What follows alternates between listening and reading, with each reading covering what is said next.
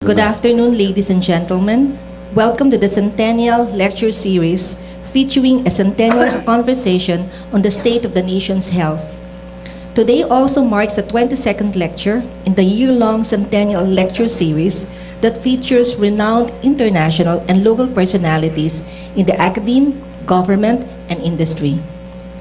We would like to repeat that all the lectures will be beamed live to the following UP campuses, UP Diliman, UP Los Baños, UP Visayas in Miagao, Tacloban, UP Mindanao, UP Baguio, and UP Open University, and webcast through the internet for wider coverage. For wider coverage, since we are on webcast, our audience from anywhere in the world may send their questions.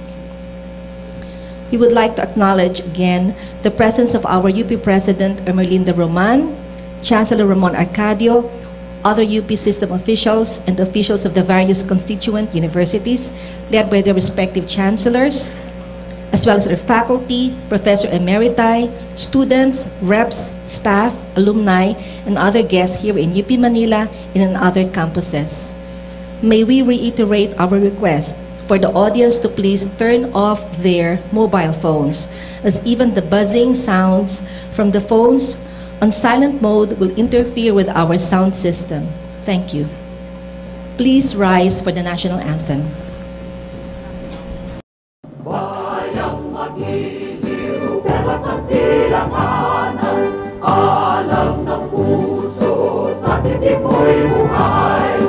Lupang hinirang, tuyat ka ng magiting,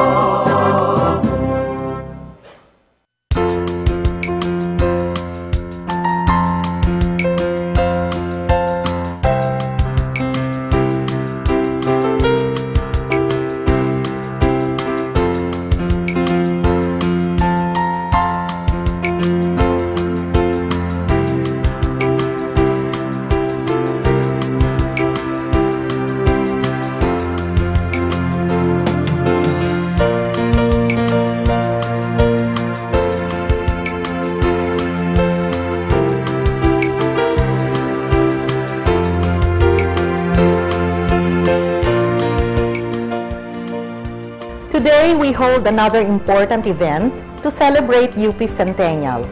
I think most of you are aware that we have lined up a series of events to mark this important milestone in the life of UP. We are organizing celebration activities, fundraising activities, and other activities to promote or project UP to the outside world. But the centerpiece of UP's Centennial celebration is actually the UP Centennial Lecture Series. After all, UP is an academic institution, and because it is, a good part of commemorating its birthday is to get scholars, experts, and distinguished individuals to share with us their thoughts on UP or their views on burning issues of the day. Four categories make up the lecture series. One set of lectures will be delivered by insiders. They will present to us their views on UP, its successes and achievements, its faults and shortcomings. From them, we will get the view from inside. Another set will be delivered by those who are not part of our community, but who we believe take an interest in our university. They will share with us their insights on our vision, our mission, as they are perceived by the larger community. From them, we will get the view from outside. The third set of lectures will be by experts both from UP and from other institutions who will talk about national and global issues such as global warming, poverty alleviation, indigenous peoples, state of Philippine education, status of women, peace and conflict resolution, etc. And finally, for the fourth category, we will feature distinguished individuals who, through their life work, have attained great distinction in their respective fields. As an institution tasked not just with producing new knowledge and disseminating existing knowledge, but also with the shaping of the minds of a future generation of leaders, we felt it was important for us to have this lecture series and provide our faculty and students with the opportunity to listen to what our scholars, experts, and invited guests have to say. Today, we have the honor of welcoming the scholars and experts, both from UP and other institutions, who will explore pressing issues confronting the nation and the world. To them, I express our sincerest thanks. We are grateful for your presence and your time. And to all those who are here, thank you for joining us.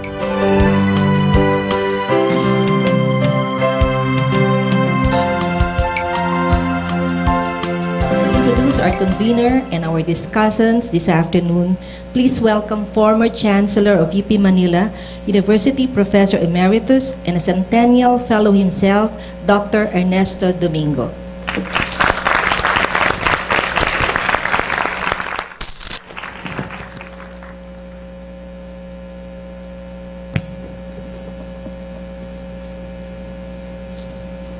I am well pleased to introduce our speaker and the two reactors.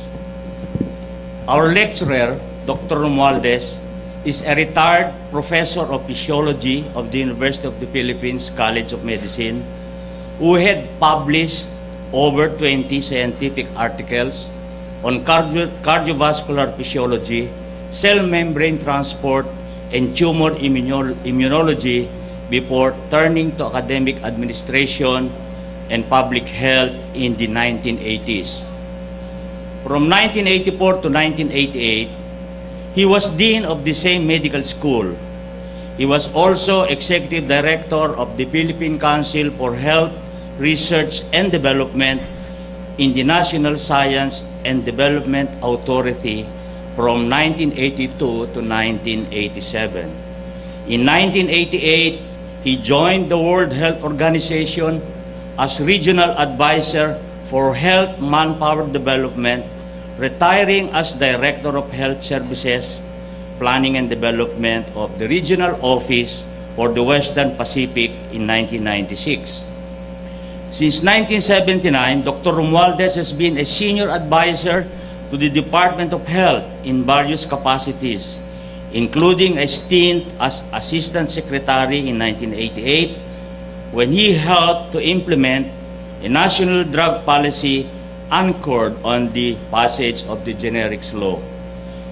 as a freelance consultant, he has carried out assignments for various United Nations agencies, the Asian Development Bank, and the World Bank.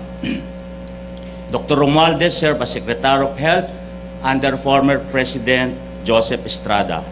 From the year 2002 to 2004, he was president of the Friendly Care Foundation Incorporated, an organization that runs a network of family care clinics focusing on the provision of reproductive and family planning services for in low-income families. Since 1996, he has been a column writer for the daily broadsheet Malaya. Our first reactor, Mario M. Tagiwalo, is a graduate of the Philippine Science High School and the School of Economics, University of the Philippines, with an MA degree.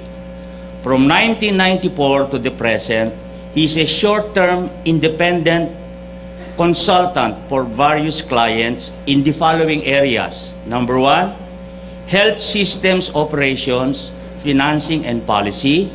Number two, family planning, reproductive health and population. And number three, education, culture, government, and human development. He served as Undersecretary and Chief of Staff of the Department of Health from 1987 to 1992 and concurrently chaired two committees in NEDA and one committee in the Office of the President of the Republic. He has represented the Philippine government in the WHO Executive Board meeting and regional committee meetings. Because of his expertise, China, Cambodia, and Vietnam have engaged his services in the past. Mr. Tagiwalo is one of the finest minds I have, I have the pleasure of knowing. This, the second reactor is Ramon Pedro P. Paterno, presently a research faculty of the UPM National Institutes of Health, heading the PhilHealth Validation Study Group since 2005, and also a faculty of the Department of Family and Community Medicine. He lived and worked for more than 10 years in the Cordilleras, right after graduation doing primary health care. He was a consultant of the Department of Health doctors to the various program from 2001 to 2002. He is a member of UPCM Class 76 with an MPH from UP Open University. He graduated from Yale College, Yale University in 1971 with a BS in Molecular Biophysics and Biochemistry. He is married to another community medicine physician, Dr. Elizabeth R. Paterno. He has published a validation framework for the assessment of PhilHealth performance. In his validation work of PhilHealth, he has become an advocate for universal health care for the Philippines. Although I cannot claim credit as one of his former mentors, I am mighty proud of Buching. Thank you.